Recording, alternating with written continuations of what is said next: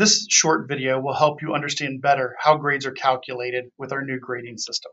So first, why do we have grades? Well, grades are just one way to communicate how you are doing compared to the standards. It's not about how you're doing compared to other people. It is about how you are doing against the standards for the class. Grades aren't the only or even the best ways to do this. The best way is teacher feedback, and that is because it is more specific and it can only tell you where you are, but it can tell you what steps you need to take to improve. So how does a grade get determined? There's lots of activities that can help you with your learning in your classroom. Homework, projects, exams, class participation, labs, these are all just some of the ways that teachers help you learn and measure your learning. First, you need to make sure you understand the difference between a formative and a summative assessment. A formative assessment, this is practice. This is while you're learning. This helps you know how you're doing and it helps your teachers know how you're doing so that they know what the next step is. Do you have that standard mastered or do you still need more practice? And because these are practice, these don't count towards the final grade.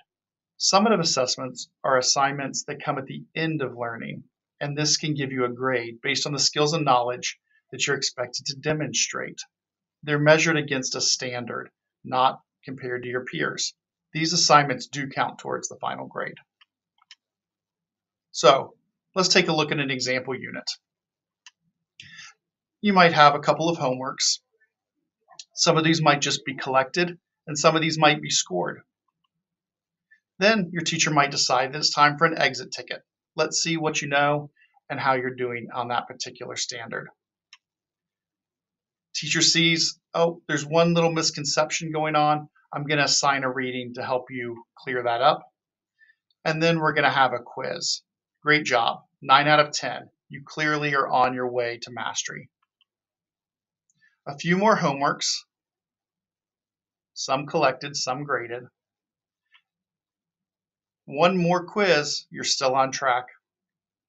And then it's time for the test. 21 out of 25.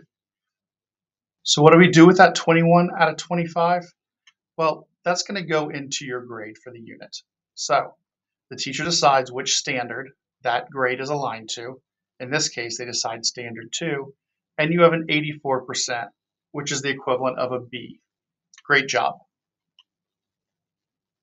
At the end of the quarter, you should have grades for multiple standards. Most classes have between two and five standards, and not every standard will be assessed every quarter.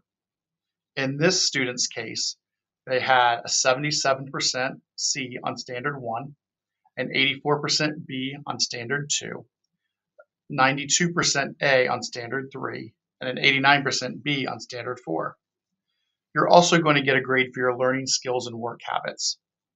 These individual standard grades are what we think are the most important. But if you do want an overall grade, those grades get averaged and would show up, in this case, as an 85% B. Learning skills and work habits. These are based on your end of quarter self-reflection and your formative assessments or the work that you've done all along.